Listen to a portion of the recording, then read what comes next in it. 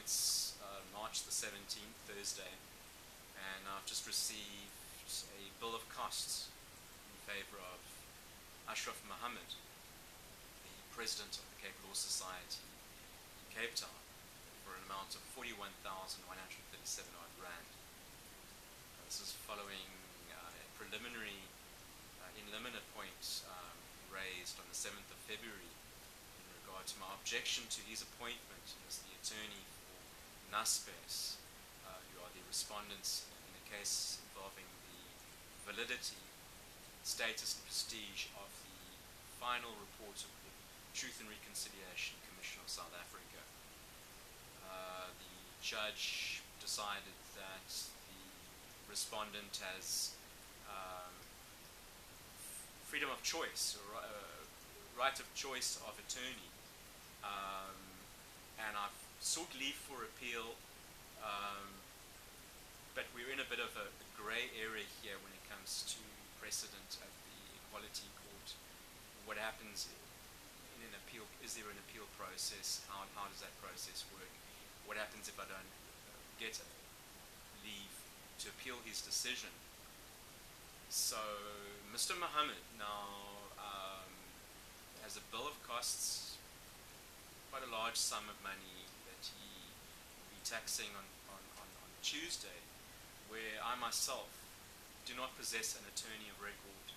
There's been no attorney appointed um, in my camp um, to represent me in a case affecting the validity of the Truth Commission and its report. Uh, bear in mind this is a, a situation where the, the, the, report was trashed in court, at Labour Court, it has been um, subject of, of, of, of, a decision and where I'm being essentially seeking to, to have it upheld as a, as a bona fide document. Uh, Mr. Mahomed has previously declaimed on this issue as head of the Western Cape Human Rights Commission. He issued a waiver of interest and um, stating that this was strictly a labour matter. He wasn't interested in Truth Commission issues. Um, this is a labour matter and it should run its course through, through, the, through the labour courts. Needless to say that has already transpired. We've already been through through that process. We've ended up in a disciplinary hearing with a complaint to Cape Law Society where Mr. Mahomed, as president of the Cape Law Society, was a party to that process, to that uh, as, as head of Cape Law.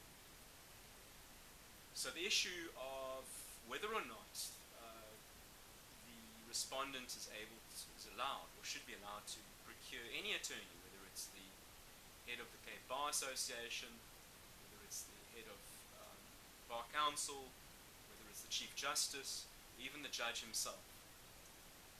And this has come up appealing to you to, if you're watching this, to please assist me in my case because uh, it's becoming quite complicated. There's some very complex issues, legal issues to do with the manner in which NASPERS have gerrymandered their, their way into the legal system.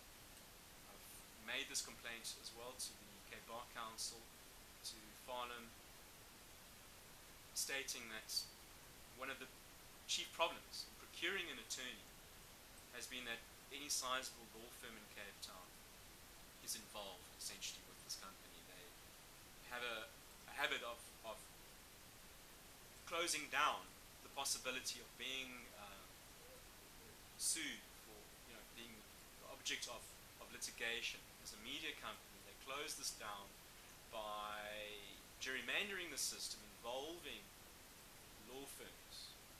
made this complaint to the Dean of the Law, law School of UCT, and um, it's all part of my, my affidavit for the Cape Bar Council, a disciplinary hearing involving um, other allegations.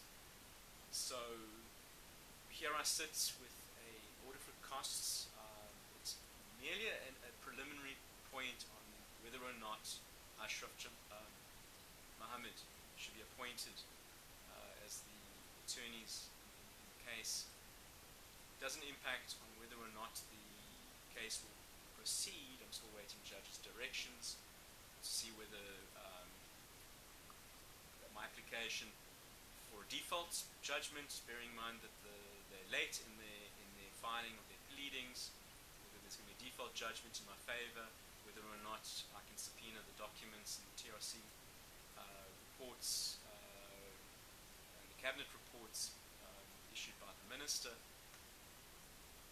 So um, please assist me.